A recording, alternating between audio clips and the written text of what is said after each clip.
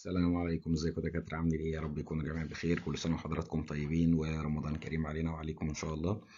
إحنا كنا اتكلمنا ان إحنا عايزين نعمل voice over والكومنتات كانت ما بين ان إحنا نعمل overlay وان إحنا نعمل فينير فانا قررت بصراحة هعمل الاثنين وهنبدأ إن شاء الله بال overlay وبعد كده إن شاء الله هنبقى نعمل لكم حالة فينير برضو voice over بس تكون سريعة شوية إن شاء الله يعني.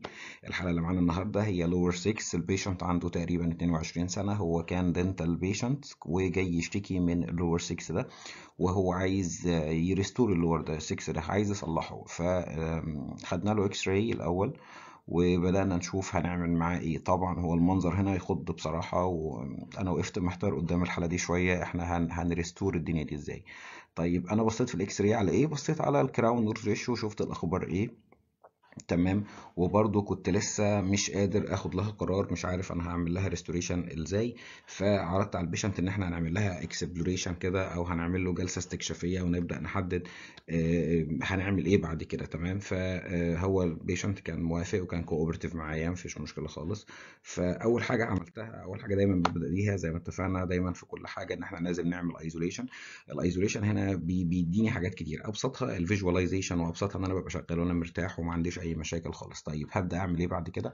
هبدأ إن أنا أحاول أشيل كل ال caries اللي موجود قدامي وهبدأ أشوف ال- ال canals بتاعتي أخبارها إيه ال patency بتاعها أخبارها إيه هقدر أعمل لها endo ولا لأ؟ والمفاجأة اللي قابلتني هنا إن الحالة كانت still vital وكان لسه still في pain وفي شوية bleeding طالع لي من الكلام. أنا كنت شاكك إن هي أصلا ممكن تكون مفيهاش pain خالص أو necrotic يعني. فخلاص okay مفيش مشكلة. ال canal patent والدنيا جميلة وما فيهاش مشكلة خالص. فبدأنا نخش في خطوات الإيه؟ ال root canal هنا أنا كنت عملت آه، root canal خلاص خلصته. كل ده كان visit واحدة. خلصت ال root canal بتاعي وعملت له آه، sandblasting. وزي ما حضراتكم شايفين ال cavity بقى clear خالص. اهو نضيف ما فيهوش أي caries. ال enamel باين وال dentin آه، باين.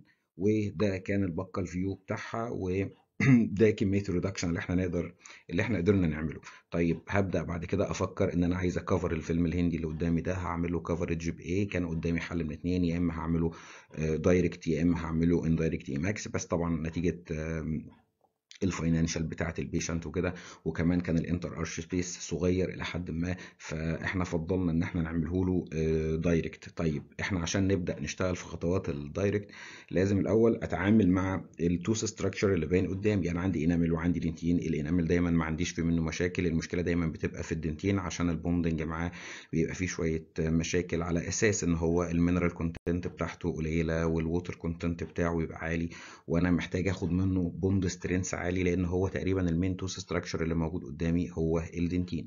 فبالتالي لازم أعمل ال IDS وال resin coat اللي هو ال immediate dentin sealing وال resin coat ونعتبر الاثنين دولت مع بعض هم ال hybrid layer ولازم أسيبهم فترة كافية ان يحصل لهم chemical maturation من خمس دقايق لنص ساعة على الأقل. لو انت مستعجل شوية ممكن تحط ال fibers زي ال Ribbond مثلا ويبقى ساعتها decoupling with fibers أنا هنا عملت decoupling with time تمام سبت ال patient تقريبا نص ساعة يحصل chemical maturation براحته خالص ما فيهوش مشكلة عشان أ secure ال bond في الحتة دي مع ال dentin وبعد كده عملت debridement لكل ال enamel margin اللي قدامي ده زي ما حضراتكم شايفين بحيث. بحيث ال enamel ما يجيش عليه أو يعني لو جه عليه آه، جزء من ال bond أو جزء من ال flowable يبقى خلاص أنا شلته مفيهوش مشكلة خالص دلوقتي معايا. وجاهز دلوقتي إن أنا أعمل له etch و bond أنا دلوقتي لما هعمل etch و bond هعمل etch و bond بالنسبة لمين؟ بالنسبة لل enamel عشان أبدأ في خطوات الايه ال direct build up بتاعي.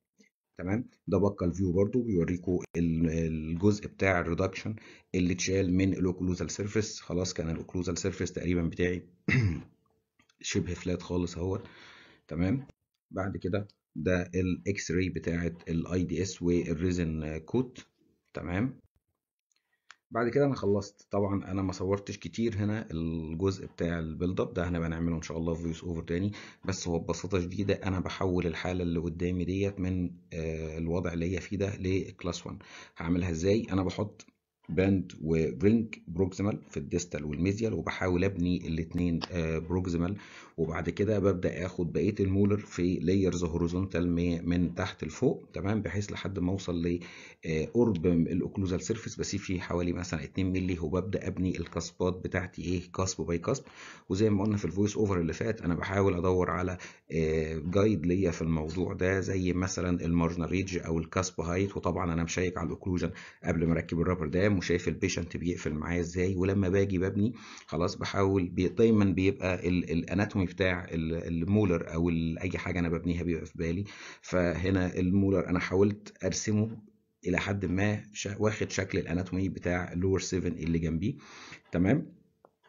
ده ال buccal view بتاعه تقريبا في نفس الارتفاع بتاع ال7 وفي نفس الارتفاع تقريبا بتاع ال6 كل ده إحنا لسه ما شيكناش على ال occlusion بس خلاص إحنا كده بنينا وأنا بحب اعمل ال finishing وال polishing بتاعي الأول تمام قبل ما اشيل ال rubber dam عشان يسهل عليا الدنيا شوية بعد ما اخلص واشيل ال rubber dam يعني. وده كان المنظر بتاعه clinical بعد ما عملنا شوية occlusal adjustment خلاص بخلي ال patient يقفل ويفتح على articulating paper في centric و eccentric وبشيل كل الايه ال high spots اللي باقيه لي وبرجع تاني أعمل finishing و polishing بحيث أوصل لل luster اللي قدام حضراتكم دي. وده كان ال buccal view وباين طبعا هنا إن في حتت كانت عالية إحنا شلناها. وبرضه أنا مش محتاج fancy anatomy ولا حاجة هو بس مجرد functioning anatomy والدنيا هتبقى زي الفل والموضوع ماشي خالص ما فيهوش مشكلة. وده كان الايه ال final X-ray بتاعها والحمد لله الحالة surviving وزي الفل وال patient ما بيشتكيش من أي حاجة. تمام أشوفكم إن شاء الله في ال voice over الجاي وإن شاء الله هيبقى على الفينير